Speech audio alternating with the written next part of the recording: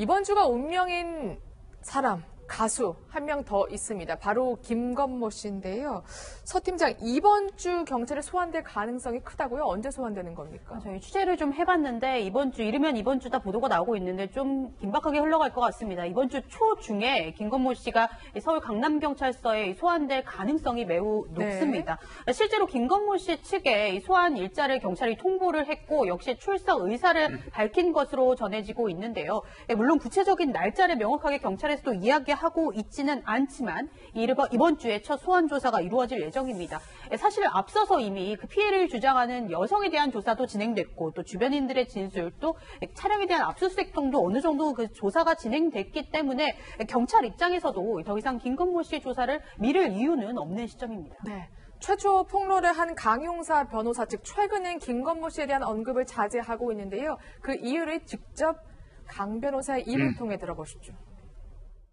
김건모 사건 자꾸 물으시는데 강남 경찰서에서 어, 담당 수사관이 김건모 사건에 대한 얘기를 방송에서 하지 말아달라고 음, 네. 신신당부를 해서 네. 신신당부를 해가지고 저희가 말을 못 하고 있는 겁니다. 네. 신신당부를 해서 못한 이유가 뭐냐면 저희가 어떤 어떤 조사를 받았고 어떤 어떤 사람이 어떤 어떻게 조사가 됐다라는 얘기를 하면 할수록 그쪽 변호사들은 그걸 그- 다 듣고 네. 어, 그걸 대비를 하거든요. 그럼요. 김건모 측 변호인들이 왜 그걸 다 그 대비를 하기 왜 때문에 김건모를 유리하게 합니까? 네, 그래서 제발 좀 아무 방송도 하지 말아달라. 네. 네, 그렇게 지금 신신당부를 하고 있어서 이 말씀을 드릴 수 있어요. 조만간 김건모를 직접 소환할 예정입니다. 음. 김건 직접 소환할 예정이니까 김건모 소환은 아마도 어, 뭐 언론에 공개될 가능성이 높아요. 그- 이건 직접 여쭤봐야 될 것 같아요. 위원님, 먼저 예. 경찰이 이렇게 방송에서 언급을 자제해달라 예. 부탁을 하기도 합니까? 비록 고소인 측이라고 하더라도 네. 어, 경찰에 고소를 해놓은 상태에서 밖에서 방송이라든지 여타 다른 방법으로 수사에 지장을 초래할 수 있는 이야기들을 계속 해버리면 네. 수사를 진행하는데 어떤 지장이 음. 오거든요. 어, 그런 경우에는 좀 자제해 주기를 부탁하는 경우도 왕왕 있습니다. 그렇군요. 그럼 반대로 변호사님, 그 김건모 씨 변호인 측도 이렇게 강용석 변호사의 방송을 보면서 대비를 할까요? 일단은 지금 이제 뭐 언론에도 보도가 네. 나온 것이 김건모 씨의 이제 변호사가 소속된 그 법무법인이 이제 법무법인 서평이라는 곳인데요. 네. 이제 담당 변호사한테 그 언론이 취재를 하면서 이제 물어봤나 봐요. 실질적으로 어떻게 준비를 하고 있고 이런 뭐 유튜브 관련해서도 이제 질문을 한것 같은데 담당 변호사 말로는 그렇습니다. 일단은 사건을 굉장히 열심히 준비를 하고 있고 강용석 변호사가 진행하는 유튜브에 우리는 관심 없다. 보지도 않고 볼 필요도 없다라고 이제 직접 이야기를 했고요. 그리고 뭐 언론 대응을 일일이 하기 힘들다라는 얘기도 했습니다. 그래서 일단은 사건을 처리하는데 이제 본분을 다할 것이지 그 외에는 관심이 없다라는 입장으로 보이는데요. 사실상 이렇게 이제 유튜브에서 강용석 변호사가 어떤 발언을 하게 되면 이게 또 이제 유튜브를 방 송을 굳이 보지 않더라도 기사나 이제 언론을 통해서 이게 나오게 됩니다. 그렇게 네. 되다 보면 아무래도 이런 이런 저런 그 사건 사실 관계에 대해서 알게 되고 변호사 입장에서 그게 이제 자연스럽게 이렇게 알게 되면 또 대비를 하는 것은 마땅하거든요. 그렇기 때문에 아마도 그런 부분에 대해서 얘기한 것으로 보입니다. 네.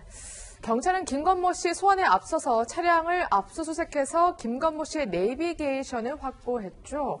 왜 내비게이션을 가져갔을까 이렇게 생각이 들었는데 알고 보니까 피해 주장 여성이 관련된 진술을 했더라고요. 그 피해 주장 네. 여성이 뭐라고 했냐면 2016년 8월경에 네. 김건모 씨가 차량을 타고 온 거하고 종류하고 색깔을 말한 것 같아요. 어. 그래서 그 차량을 압수수색하는데 차량 문제가 아니고 차량에 달려있는 내비게이션과 블랙박스가 있을 거예요. 네. 왜냐하면 내비게이션 같은 경우는 위치도 추적될 GPS가 있기 때문에 동선이 바뀌지 않습니까? 그러니까 김건모 씨가 사실상 그 차를 타고 지금 피해생이 주장하는 그 유용업소에 왔는지 어디다 갔는지 아니면 추적했는지를 확인하기 위해서는 그 차량을 압수수색해서 차량에 붙어 있는 내비게이션하고 블랙박스를 이제 확인하는 거예요. 물론 이럴 수 있습니다.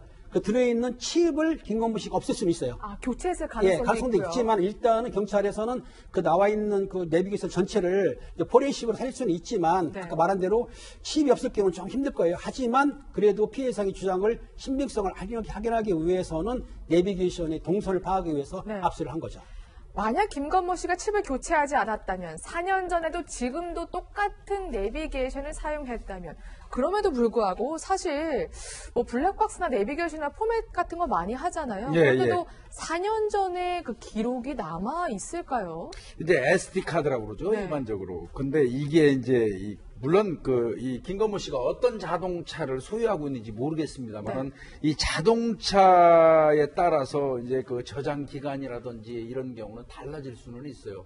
아마 김건모 씨가 가지고 있는 그 내비게이션 기능이 차량 자체 내에 고정식으로 부착돼 있는 경우를 얘기하는 네. 겁니다. 우리 뭐 일반인들이 사가지고 이동식으로 하는 거는 그거 믿을 수 없죠. 네. 그래서 이제 아마 어, 고정식 내비게이션을 이제 보는 것 같은데 이제 간단한 거는 있어요.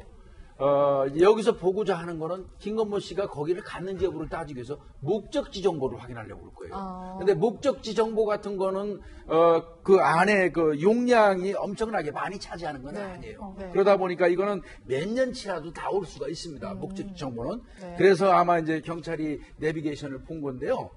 이제 이 사건은 이제 문제는 과연 거기 간 것만 가지고 성폭행이 있었다는 걸 인정받을 수 있느냐. 이게 그렇죠. 관건이겠죠. 네. 어, 그러나 어, 그렇다고 하더라도 일단 관계 나와야지 성폭행도 따져볼 거 아니에요. 그쵸. 거기 간, 그 당일날 내비게이션 조사했더니 그 근처에 차 끌고 간 적도 없다고 그러면 이건 성폭행 따지기도 힘들거든요. 네. 그런 부분 때문에 경찰은 일단 갔는지 여부부터를 따지기 위해서 이그 SD 카드를 분석하는 겁니다. 네, 알겠습니다. 경찰은 분석이 끝나는 대로 김건모 씨를 소환할 예정이고요. 아마 이번 주 초 서 팀장의 취재에 의하면 이번 주 초 소환할 가능성이 크다고 합니다. 계속해서 지켜보겠고요. 바로 다음 사건으로 출발해 보시죠.